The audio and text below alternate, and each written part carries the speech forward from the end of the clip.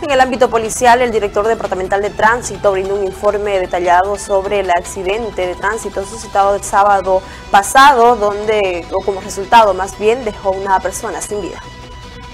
Hacerles conocer de que en ese horario, bueno, eh, esta volqueta llega a perder el control de, eh, el conductor de la volqueta, identificado como el señor Milton Javier Yuri Limpias, llega a perder el control del motorizado, impacta primero a un vehículo eh, un vehículo eh, blanco Chevrolet con placa de control ULB G37 particular brasilero. Posteriormente, debido a ello, impacta con eh, la camioneta marca Mitsubishi tipo camioneta color verde con placa de control 1150. seguidamente, de acuerdo a la cadena de acontecimientos, esta camioneta llega a eh, impactar de igual forma una motocicleta que estaba estacionada para el cambio de semáforo a verde. Esta motocicleta cae a un costado de la vía y eh, eh, se ha identificado que en esta motocicleta existía, que se tenía como pasajera a la señora Sabina Luisa Mendoza de Machaca o Machaca de Ramírez.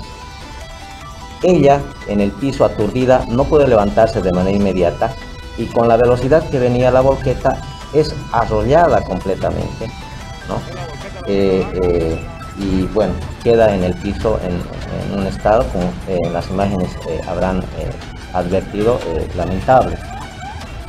Inmediatamente llegan las unidades de auxilio de la policía boliviana, la ambulancia de bomberos evacúa a esta, a esta víctima y al conductor de la motocicleta al Hospital Roberto Galindo Terán.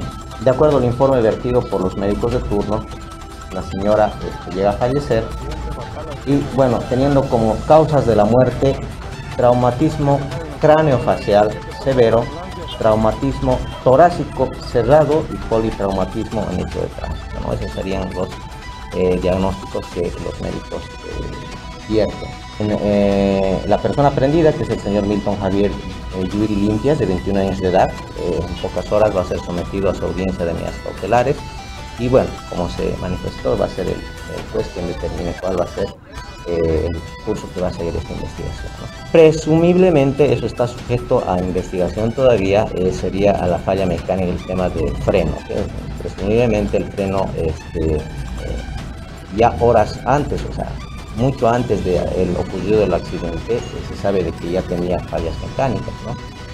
Pero eh, eso está sujeto todavía a confirmación, el vehículo está secuestrado y con seguridad que eh, se van a hacer las pericias ¿no? al, al, vehículo para poder determinar cuál en sí ha sido la falla, ¿no? si, el freno, si el motor, etcétera, no se determinará. De acuerdo a los registros que tenemos, el conductor no tiene licencia de conducción.